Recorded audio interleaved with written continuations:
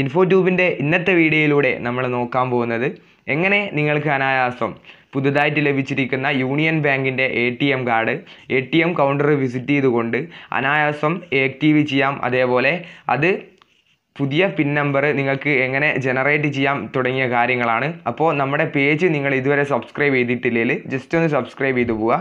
അപ്പോൾ നമുക്കിനി വീഡിയോയിലേക്ക് തന്നെ പോവാം.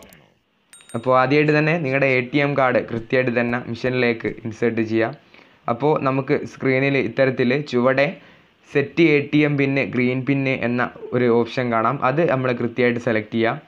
അതിനുശേഷം നമ്മുടെ O T P generate O T P validate എന്ന രണ്ട് ഓപ്ഷൻസ് നമുക്കിവിടെ കാണാൻ വേണ്ടി സാധിക്കുന്നുണ്ട്. ഇവിടെ ഒ ടി പി ജനറേറ്റ് എന്ന ഓപ്ഷൻ നിങ്ങൾ കൃത്യമായിട്ട് സെലക്ട് ചെയ്യുക അപ്പോൾ കുറച്ച് ടൈം വെയിറ്റ് ചെയ്യുക അപ്പോൾ നമ്മുടെ ബാങ്കിൽ രജിസ്റ്റർ ചെയ്തിരിക്കുന്ന മൊബൈൽ നമ്പറിലേക്ക് ഇത്തരത്തിൽ ഒരു ഒ ടി പി വരുന്നതായിരിക്കും.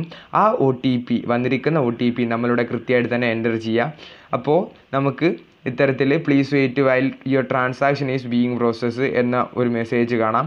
അപ്പോൾ അല്പസമയത്തിനുള്ളിൽ തന്നെ നമ്മുടെ എ ടി എം കാർഡ് കൃത്യമായിട്ട് തന്നെ ആക്റ്റീവ് ആകുന്നതാണ് അതിനുശേഷം നമ്മുടെ എ ടി എം കാർഡ് നമുക്ക് ജനറേറ്റ് ചെയ്യേണ്ടതായിട്ടുള്ളത് കൊണ്ട് തന്നെ നമ്മുടെ എ ടി എം കാർഡ് മിഷനിൽ നിന്ന് ഒന്ന് തിരിച്ച് എടുക്കുക. അതിനുശേഷം വീണ്ടും നിങ്ങളുടെ എ ടി എം കാർഡ് നിങ്ങൾ മിഷനിലേക്ക് ഇൻസേർട്ട് ചെയ്യുക. അപ്പോൾ നമുക്ക് സ്ക്രീനിൽ മുമ്പ് കണ്ട പോലെ തന്നെ ഇവിടെ set A T M pin green pin എന്നൊരു ഓപ്ഷൻ കാണാം. അത് സെലക്ട് ചെയ്യുക. പിന്നീട് നിങ്ങൾക്ക് ഇവിടെ ഇത്തരത്തിൽ രണ്ട് ഓപ്ഷൻസ് കാണാൻ വേണ്ടി സാധിക്കും.